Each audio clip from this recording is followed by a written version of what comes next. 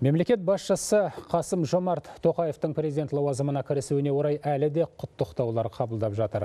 Ә, Швейцария конфедерациясының президенті Ули Маурер өзінің жеделхатында Швейцарияның Қазақстанмен ынтымақтастықты, сондай-ақ халықаралық валюта қоры мен дүниежүзілік банк аясындағы өзара тиімді ықпалдастықты одан әрі нығайтуға ниет екен атап өтті.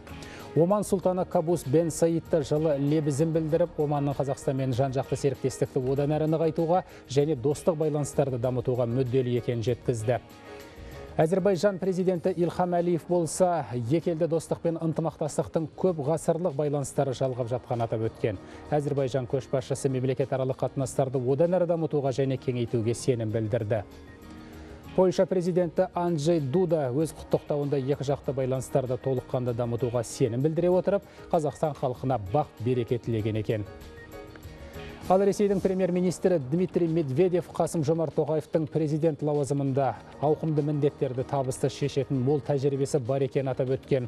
Оның жедел хатында Қазақстан мен Ресейдің достық, серіктестік және одақтастық қарым-қатынастарын одан әрі тереңдету, сондай-ақ сауда экономикалық, ғылыми техникалық, гуманитарлық және басқа да салалардағы ынтымақтастықты нығайту мақсатымен үкіметтер арасындағы бірлескен жұмысты жандандыруға дайын екендігімізді жеткізгім келеді делінген.